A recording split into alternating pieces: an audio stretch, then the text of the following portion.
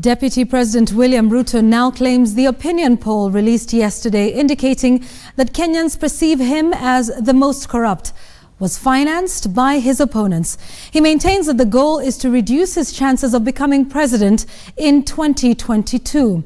And as Stephen Letoo reports, it was a day that saw Ruto unleash his anger in a manner rarely seen by Kenyans.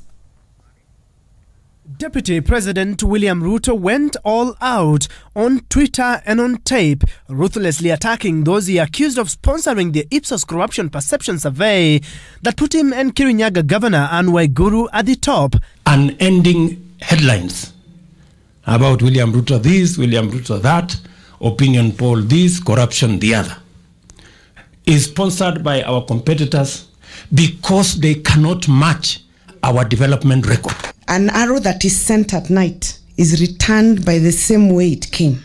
In the afternoon, he attended a function at State House with President Uhuru Kenyatta and ODM leader Raila Odinga. After that, Ruto took to social media.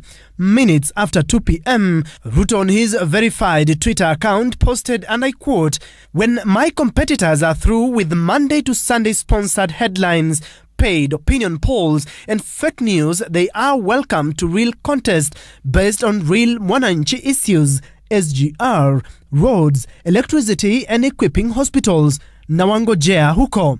End quote. A few minutes later, his Twitter handle was updated with a mock tweet quote, those running injili ya shetani that unless your father was a minister, a vice president, or a president, however hard you work, you must remain poor, and if not a pauper, you must be corrupt and have stolen. They should know that those without godfathers, we have God the Father. Shindwe. End quote. This post was deleted immediately from his account. But a similar message was repeated in his tour of Gucha in kisi County and later reposted minutes after 6 p.m. Wapange opinion poll kwenda juu na kuteremka chini.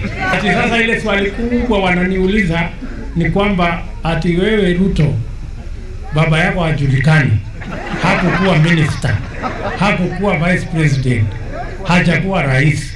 Sasa wewe utakuwa rais namna gani wewe mtoto ya maskini? Hawa watu wanajua kweli?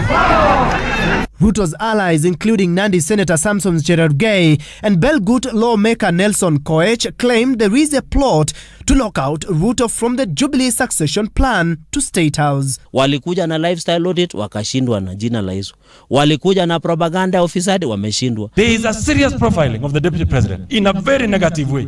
Kuna wale watu wamepanga njama ya kudhulumu safari ya naibu wa rais kuwa rais wetu mwaka wa 2022. The Ipsos poll becoming the latest trigger of political confrontations.